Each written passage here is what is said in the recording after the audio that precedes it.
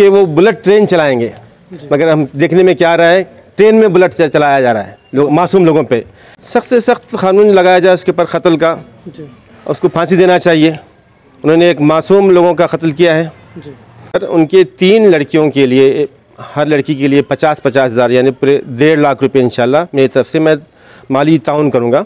बीदर में अगर से पढ़ना चाहते हैं तो मेरे भाई साहब जिसके सदर हैं शाहीन कॉलेज उसमें टेंथ तक या पी तक उनको पूरी तालीमी मदद देने की इंशाल्लाह मैं वादा करता हूँ। सर अभी यहाँ हमेलापुर में। जो प्रोग्राम रखा गया था शहीद सैफुद्दीन जो कि जयपुर से बम्बई जाने वाली ट्रेन में शहीद हो गए थे उनको याद करने के लिए और उनको यहाँ पर दुआओं में भी सभी लीडर्स मौजूद थे।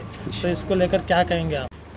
जी आज यहाँ हमिलापुर में शहीद सैफुद्दीन साहब की ताज़ियत में और उनकी दुआ के लिए एक यहाँ पे जलसा हुआ एक महफिल हुई जिसमें बीदर के कराम और ज़िम्मेदार सियासी कायदीन थे। और इसमें ख़ास तौर पे हमारे यम के तरफ़ से जो मदद मिली उसको सराहा गया। और कई लोगों ने आगे और उसकी मदद करने की भी तयन दिलाया है। और यहाँ पे उनके लिए दुआया कलमात पेश किए गए। और ऐसी ताजियत के बाद आ, और भी ऐसी मीटिंगें हम करते रहेंगे ताकि हम इसके लिए आ, आने वाले हालात को कैसा मुकाबला करेंगे उसको कैसा फेस करेंगे उसके लिए कुछ बातें यहाँ पे तय हुई। अभी कर्नाटका स्टेट माइनॉरिटी कमीशन के चेयरमैन जनाब अजीमुद्दीन साहब वो भी यहाँ पे मंगल के दिन 12 बजे यहाँ पे आने वाले हैं। वो मरहूम के घर को- विज़िट देंगे और उनके अहले ख़ानदान से बातचीत कर कर इस हादसे की एक रिपोर्ट गवर्नमेंट ऑफ़ कर्नाटका को पेश करेंगे। इन उससे एक अच्छा फ़ायदा होगा।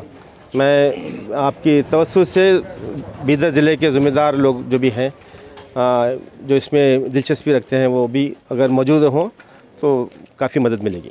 सर आप कांग्रेस के लीडर हैं। जी। जो ट्रेन में जो ऑफिसर था जो ऑफिसर ने तीन जनों को वहीं पर मुसलमान को तीन मुसलमानों को शहीद कर दिए और एक वहीं ऑफिसर को भी करे।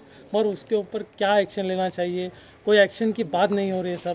पूरे इंडिया भर में सभी लोग कुछ ना कुछ बोलते आ रहे हैं शहीद की फैमिली को कुछ ना कुछ देते आ रहे हैं मगर उसको कौन सी सज़ा मिलना चाहिए ऐसा कोई नहीं बोल रहे। तो क्या किसी का दबाव है सर इस पर? जो रेलवे का जो सिक्योरिटी आदमी जो था जी। जिसने ये ये अलमनाक वाक़ जिसकी वजह से हुआ उसने तीन मासूम लोगों का को शहीद किया और एक उसके अपने डिपार्टमेंट के एक साथी का भी कत्ल किया। उसके ख़िलाफ़ रेलवे पुलिस ने उसको अरेस्ट किया है। उसके ख़िलाफ़ एफ़ आई हुआ। मगर उसको बचाने के लिए कुछ कट्टर फ़िकापस तंजीमें बाहर आ निकली हैं और उनको क़ानूनी मदद देने का दे, देने की कोशिश कर रहे हैं। और ये साबित करने की कोशिश कर रहे हैं कि वो उसका जहनी तोज़ुन सही नहीं था वो पागलपने में ऐसा किया। ये गलत है कोई पागल आदमी को रिक्रूट नहीं करते। अगर वो पागल है तो डिपार्टमेंट में काम कैसे कर सकता है?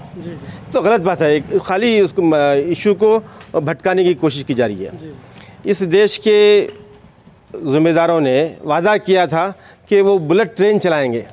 मगर हम देखने में क्या आ रहा है ट्रेन में बुलेट चलाया जा रहा है लोग मासूम लोगों पे। ये ये बंद होना चाहिए। इसके ख़िलाफ़ एक अवामी तौर पे आवाज़ उठाने की बात नहीं है कोई बहुत बड़ा मसला नहीं है अवामी मसला नहीं है एक क़ानूनी मसला है। उसको उसके क़ानूनी तौर पर उस उसको एफ़ आई हुआ है उसका इन उस पर मुकदमा चलेगा। बिदर की जानब से आप क्या मांग करेंगे सर गवर्नमेंट से? सख्त से सख्त कानून लगाया जाए उसके ऊपर कत्ल का। जी। उसको फांसी देना चाहिए। उन्होंने एक मासूम लोगों का कत्ल किया है। जी। उसको फांसी फांसी मिलना चाहिए। फांसी से कम कोई सज़ा उसके लिए काबिल कबूल नहीं है, क्योंकि उन्होंने जो भी किया है, गलत काम किया। मैं इस सिलसिले में मालूम किया, उनकी अहलिया हैदराबाद गई हुई हैं। वो मस्जिद के सदर अपने दारुसलाम में उनको बुलाए थे कल, इसलिए गई हुई हैं। शायद कल वो आज आएँगी तो मैं उनसे मिलकर, उनके तीन लड़कियों के लिए, हर लड़की के लिए पचास पचास हज़ार, यानी पूरे डेढ़ लाख रुपए इंशाल्लाह मेरी तरफ़ से मैं माली ताउन करूँगा।